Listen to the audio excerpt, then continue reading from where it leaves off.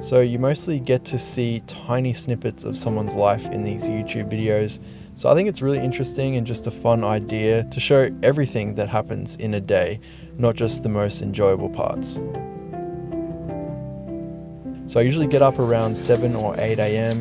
and do all of the normal morning routine things, clean up a little bit, put on some clothes, and I'll pack a small bag of things that I need for the day ahead as well. I do like getting out of the house every day. I think it's much better than having the exact same scenery day in and day out.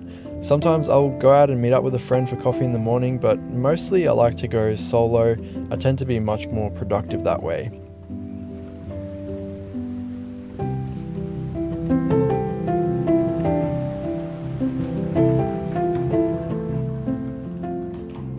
Today I'm headed to a quiet cafe with really good coffee just outside the city. And this place has an outdoor area that's pretty quiet and it's hardly ever busy there too.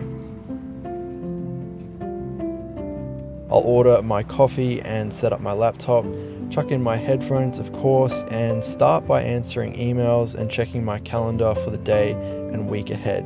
And once I'm done with that, I'll usually work on a script for a YouTube video, come up with ideas for videos, edit photos, or even design YouTube thumbnails.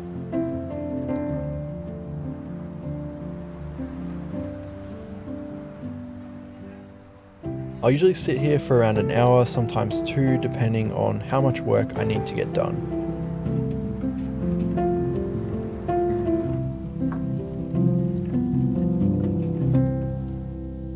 Alright, so it's 10 am now, which means it's time for the gym.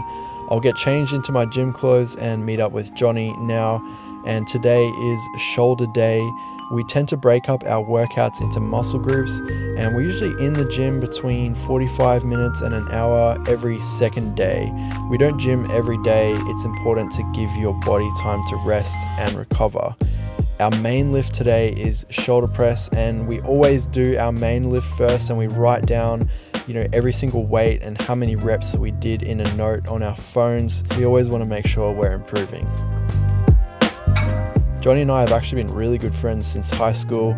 We always have good chats during our gym sessions, whether it's business or politics. I always look forward to catching up with Johnny, and I learn something new every time I see him.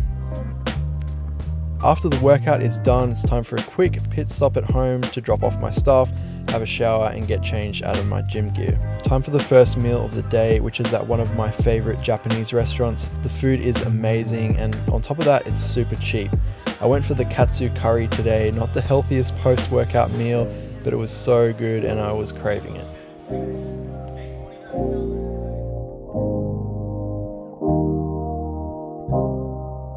After lunch, it's time to get stuck into the main work for the day. Before I get started though, I have to clean up the desk. For some reason, I cannot work with a messy or untidy space. It must be a compulsive thing. So here's me cleaning off my desk from the editing that I must have been doing the night before. Today I'm working on a script for a video. If you didn't notice, I was actually working on the script at the cafe, but I actually set up my camera and filmed this video right after I was done writing it.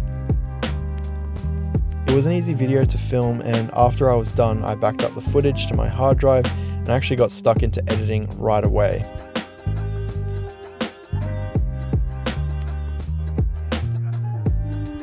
All up I was working for about 3 or 4 hours I think but tonight I'm headed out with the boys for dinner and before I could finish off the edit, Carlo arrived to pick me up.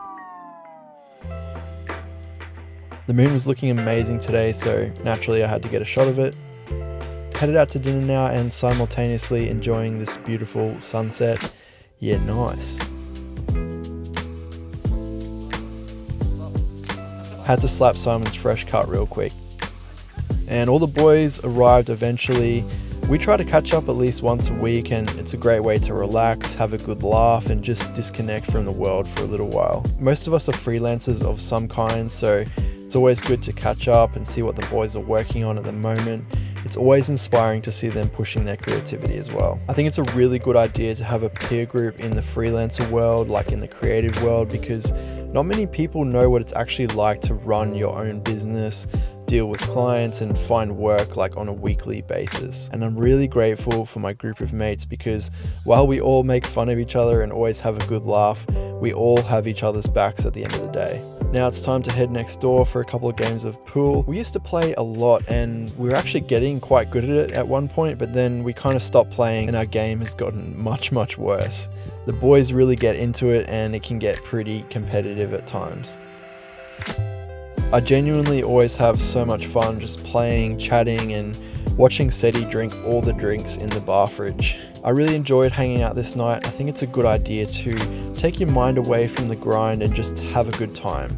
And not gonna lie, I was pretty wrecked after just a few games of pool, so I was pretty keen to head home to bed. I took some photos of the boys as well, so here are those.